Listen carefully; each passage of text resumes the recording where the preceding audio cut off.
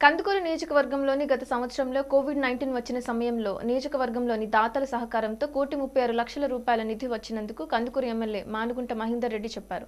దాతలు అందించిన ఈ విరాళాలను ప్రజలు అవసరాలు మాత్రమే ఉపయోగిస్తున్నామన్నారు. గత సంవత్సరం మనం కరోనా సందర్భంగా అనేక మంది దాతలు ఒక స్ఫూర్తితోటి ఒక వితరణ కార్యక్రమం పట్ల వాళ్ళకు ఉన్న ఉదారతని చూపించే విధంగా ముందుకు వచ్చి మనకి కోటి ముప్పై ఆరు లక్షల రూపాయల నగదు రూపంలోనూ సుమారు రెండు కోట్ల రూపాయల పైచులకు వివిధ మార్గాల ద్వారా నియోజకవర్గ ప్రజానికానికి ఎవరైతే ముఖ్యంగా అల్పాదాయ వర్గాలు బలహీన వర్గాలు ఉన్నారో వాళ్ళకి వస్తు రూపంలో చేసిన కార్యక్రమం ప్రతి గ్రామంలో కూడా అందరికీ తెలిసిందే.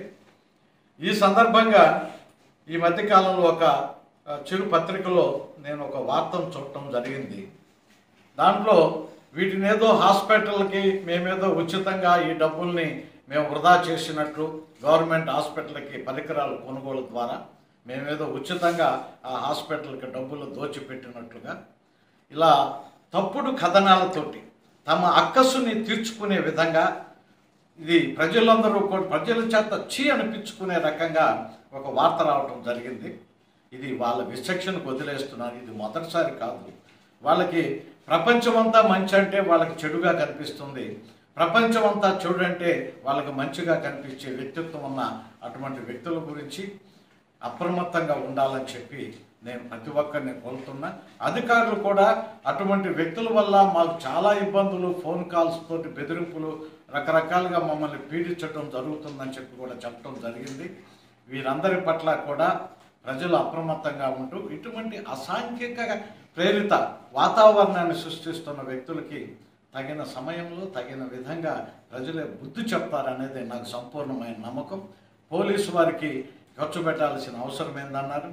విధి నిర్వహణలో పోలీసులు పనిచేసిన తీరు మెడికల్ సిబ్బంది పనిచేసిన తీరు ఈరోజు రాష్ట్ర వ్యాప్తంగానే కాదు దేశవ్యాప్తంగా వాళ్ళని గుర్తించమని చెప్పి కేంద్ర రాష్ట్ర ప్రభుత్వాలు మనకి చాలా సర్కులర్స్ ఇచ్చారు. వాళ్ళకి చేసిన సేవలో భోజనం పెట్టే చేశాం. అది కూడా భోజనానికే ఈ డబ్బులు ఉపయోగించాలని దాతలు కొంతమంది ప్రత్యేకంగా దానికే ఇచ్చారు.